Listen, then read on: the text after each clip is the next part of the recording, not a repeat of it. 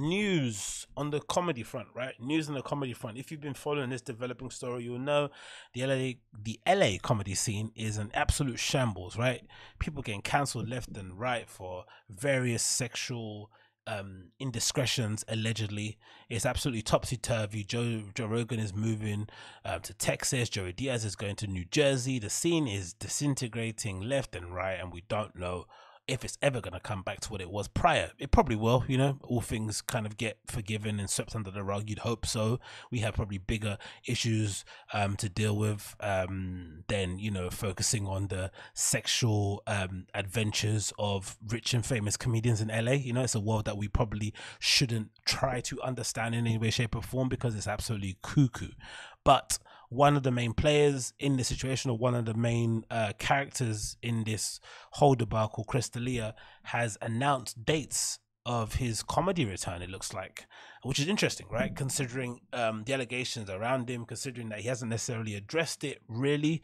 He kind of did when they first um, came to, to surface right he did make a statement to tmz basically saying that you know he let the lifestyle get ahead of him and he was going to take some time to reflect. I'm assuming something along those lines, but nothing else kind of came from it, which would lead you to believe that the majority of the story was true. I think the part that he would probably argue against was the fact that he was uh, trying to groom these girls or he was, you know, intentionally going after girls who are underage.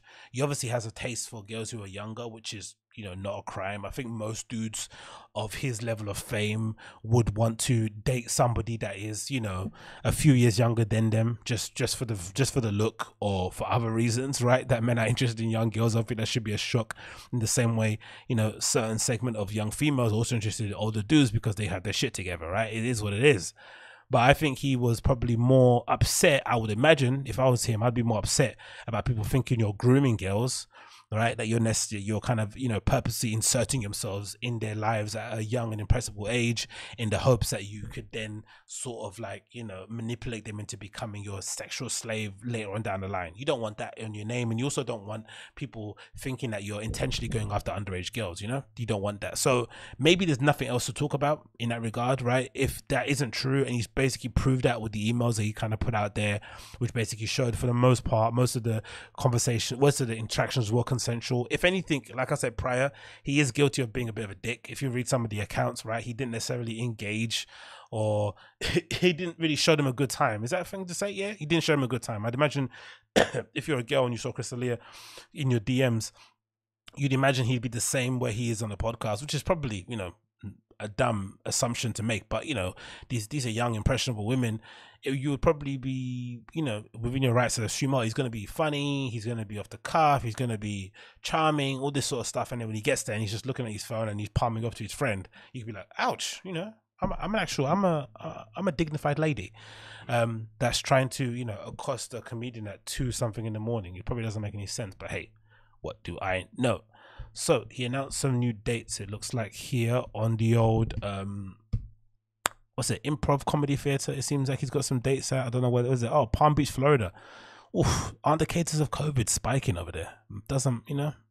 I don't know. It seems like everywhere that there's a lot of cases, there are also the same places that are kind of uh, quick to put back shows on again, which is interesting. But hey, there's a listing here from the uh, the Improv Comedy Theater. It looks like in Florida, basically showing his dates. He's going to be playing there on Friday, this Friday, September 18th, Saturday and Sunday. So he's doing a whole weekend there. Um, they've got a blurb talking about all his accomplishments, which you don't really need to read because you know it. But interesting, right? Interesting way to approach being cancelled.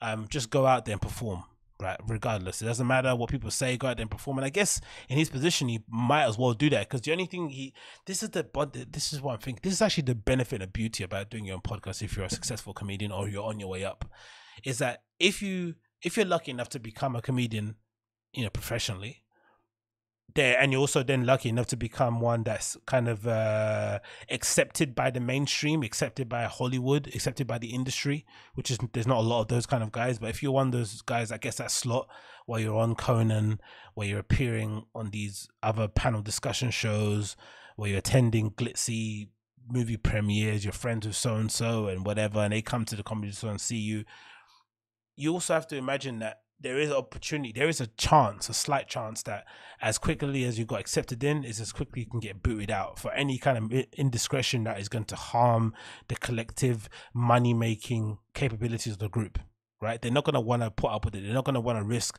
their bag, their endorsements, their deals um, in backing you as a friend because they're not really your friends, are they? They're just more so your kind of colleagues or your acquaintances at that particular time.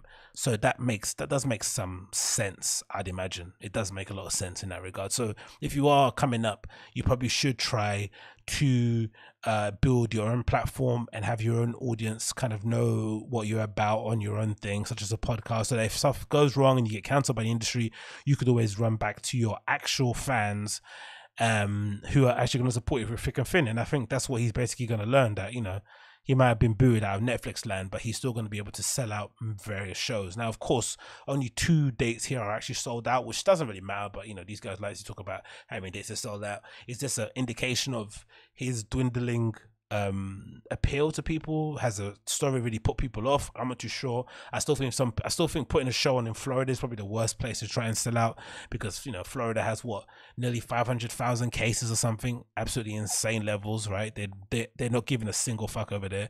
So to put on a show in florida in the hopes of selling it out is a bit nuts because you're just depending on people from Florida to go into your show. Well, I'd imagine most comedians when they go on the road, everyone's traveling to everywhere, right? You're probably, you know, if you live, especially if you don't live in Florida, you're probably using as an excuse just to go there to have a bit of a holiday, get a tan, and go see your, your favorite comedian. So um yeah interesting that he's approach that he's made. Um whether or not this means he's going to do a podcast prior to him going out there that'll be interesting to kind of get the word out and sort of like you know tell everyone that he's okay and obviously maybe offer his side of the story which i'm not sure if he's doing. Is he actually going to sue? I'm not too sure for defamation. Maybe not. Maybe he is. Maybe he's just trying to keep his head down because you know if we believe from what from so from what i've kind of read between the lines and listening to what joe diaz said that there was a story or there is a story being worked on like a kind of LA scene takedown. You know, in the same vein that they did to the intellectual dark web when they were sort of popping off, they were sort of like takedown hit pieces coming up all over the place, and then suddenly some big one dropped, and they sort of named everybody and sort of put dirt on their name, in, and it was only you know the strongest survived in that regard. So maybe the article's still coming out, and he's like, you know what, I'm gonna get ahead of this and just do a couple shows before the actual house comes tumbling down, bank some money, and then keep it moving. But I still think he'd be fine though, Chris. I think if he was to just go back in his podcast and kind of explain his side of the story, um, maybe do it behind a paywall on Patreon or something, I think he'd be fairly decent. I think his fans are um, loyal enough to stick by him and maybe his issue might be that he's probably it's probably no, I won't say out of character, but maybe the accusations against him are so, especially if your only experience of Chris has been on T-Fat-K, 10 minute podcast, and that sort of stuff. It's a bit hard to sort of like accept that this is how he goes on away from camera, right? Because I think that's why Louis C.K. ultimately won because we knew he was a degenerate. We knew he was a creep from minute zero, right? He's never hid that. He's always told us that in his stand up. So when that stuff came out about Louis C.K., it wasn't that much of a shock, I'd imagine, from to real fans of stand up comedy, right? Or people that were paying attention would have known, yeah, this guy's been speaking about this this whole time, isn't it? It's not a big deal. Um, so he didn't really lose any of his own fans. He maybe lost those fans that kind of came along during his HBO days and all that glitzy Hollywood stuff. So that's the probably the issue he might have.